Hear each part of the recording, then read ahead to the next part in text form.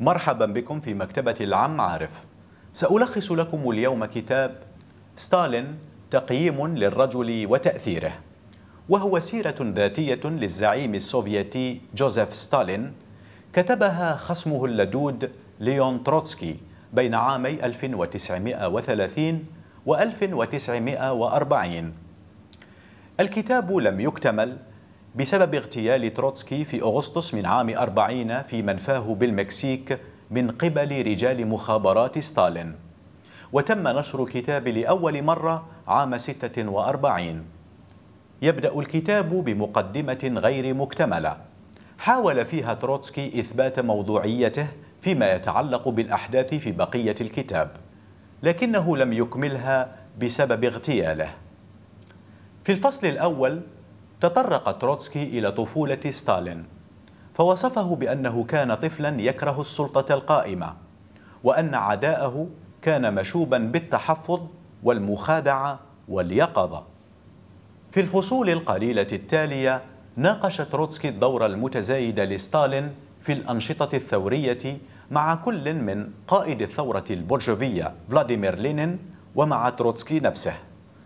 العديد من الأنشطة الثورية التي شارك فيها ستالين خلال السنوات الأولى من حياته كانت ضد النظام القيصري الذي حكم روسيا في ذلك الوقت.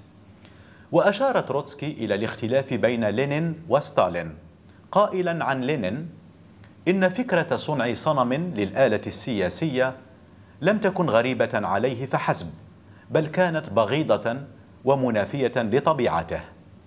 بينما انتقد ستالين قائلا عنه إن تفكيره بطيء جدا وارتباطاته تتبع مسارا واحدا للغاية وأسلوبه متثاقل للغاية وقاحل.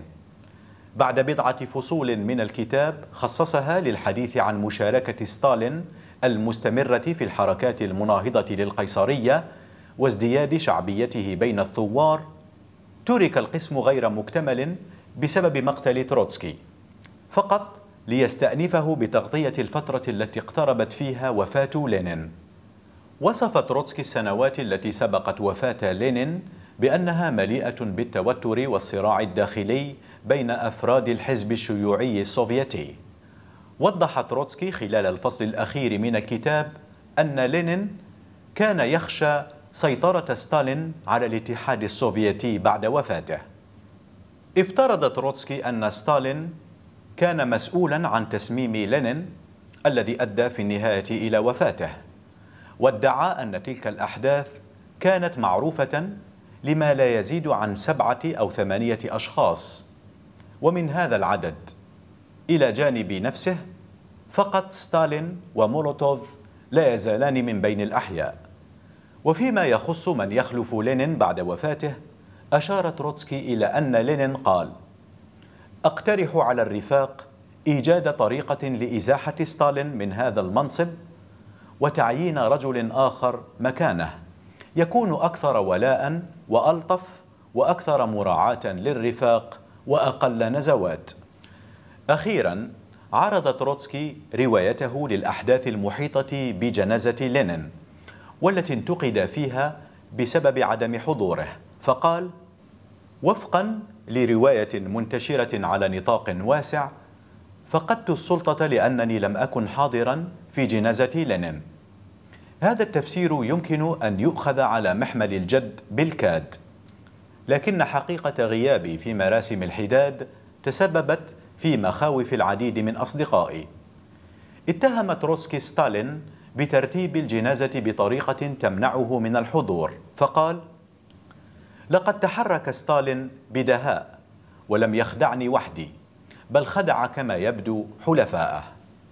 استرشد ستالين في مناوراته المحفوفة بالمخاطر باعتبارات أكثر واقعية. ربما كان يخشى أنني سأربط وفاة لينين بمحادثة أجريتها العام الماضي حول السم وأنني سأسأل الأطباء عما إذا كان التسمم سببا في موته. ثم أطلب تشريحا للجثة. لذلك كان من الآمن من جميع النواحي إبقائي بعيدا إلى أن يتم تحنيط الجثة وحرق الأحشاء ولم يعد إجراء تشريح الجثة المبني على هذه الشكوك ممكنا.